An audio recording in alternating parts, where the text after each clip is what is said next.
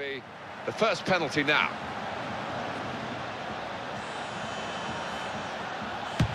He never looked as though he thought he was going to fail. No, and I think the important thing is uh, once you've made up your mind which side you're going to put it, you stick to that, and he did.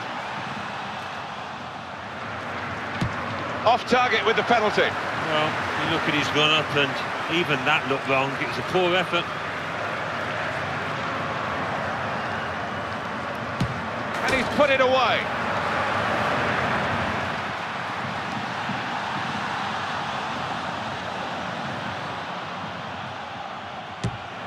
Saved it.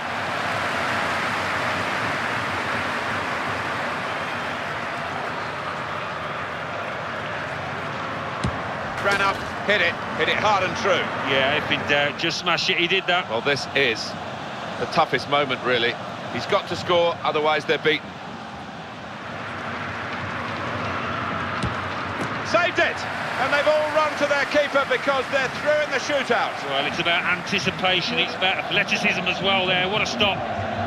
From Alan Smith and myself, Martin Tyler, all the excitement, all the fun of the fair, so to speak, when the penalty shootout's brought into play. We've enjoyed bringing it to you. We'll see you next time.